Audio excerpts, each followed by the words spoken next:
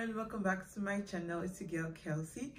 And today i just want to quickly review a sunscreen that i got online and it's this black girl sunscreen. And yeah i'm just gonna tell you guys all about it. I've used it for like a week and i'm to tell you guys how um, it reacted to my skin and what i like about it and what i don't like about it. So yeah let's just get right into the video. Okay so um disclaimer i'm not a professional or a dermatologist of any kind. This is just review based on what i know and um, experience using it. So yeah. So this black girl sunscreen is um, a chemical sunscreen. It has 30 spf broad spectrum. So it is basically a moisturizing sunscreen lotion and it can be used for your face and body obviously. So this sunscreen is from a black girl owned brand so that was what prompted me to you know rush get it. And it has jojoba and avocado oil so basically it's an it's a very oily sunscreen. So um which I didn't know before getting it. I actually saw some reviews and I thought it was going to be matte. Mind you, the brand has a lot of other sunscreen, not just the 30 SPF. They have the 45 SPF and the 40 SPF. And that's, uh, those are, those are um, matte finish. This is more of a oily finish anyway so as i was saying it's a chemical sunscreen and it's water resistant for 18 minutes and it's also ultra sheer. I mean no white cast. When i mean no white cast i mean no white cast. Let me just show you guys so. This is the sunscreen. I don't know if you guys can see. So i'm just going to blend it. I think this is much. Okay let me just blend it in my hand. As you can see it's very light very very easy to blend. Right now it has a big white cast. You just need to rub it in. And i'm telling you it's not hard to blend in. Like it blends in so flawlessly and it has a shine on it. So yeah. Where is the cast? Where is the white cast? As you can see the total different my arm. There is the the part i just rub the sunscreen and this part which is obviously glowing and it is so so oily and no white cast. So you got to watch that out for my oily guys i'm an oily skin girl so um this sunscreen didn't work for me as i expected it to work.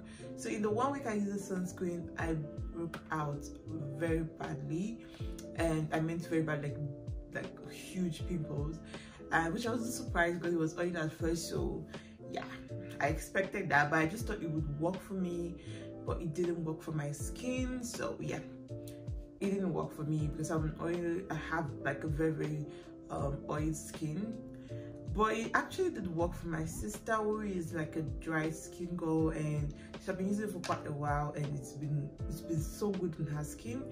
And it doesn't stink the eye um, it's fragrance free for my fragrance free girls. People are sensitive to fragrances. But yeah it's fragrance free and it doesn't stick the eyes. It blends so so easily. Like when it blends it gives this glowy shine like as they said ultra shea butter yeah. It gives that glow when you when you're done your face just just pops. It just glows it just pops the black um skin that you have the glowy dark skin. So yeah. Um i would advise this sunscreen for anyone who is um, a dry skin girl and it's very very good for um, dark skin shades and dark skin colors. So yeah you wouldn't have any white cast as you can see. It's still on my arm yet clean and white cast and it blends so easily and it is lightweight and it doesn't sting the eyes. As said and did i mention no white cast absolutely none so yeah i really loved the black girl sunscreen i think i'm gonna get the 45 um spf make it matte.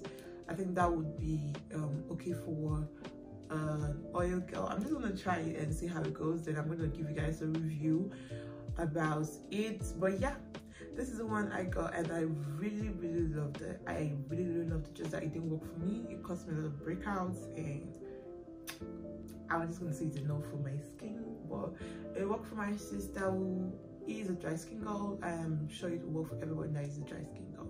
So yeah check it out if you are in for a new um a new sunscreen for a dark skin and dry skin girl.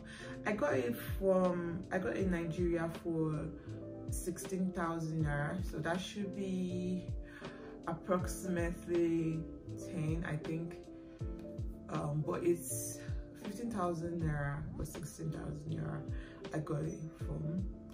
So yeah try it out and yeah. That's all for this video. I hope you guys um love the video love the review. I'm going to make it more review because i'm using a new sunscreen now so i'm going to be reviewing that later on.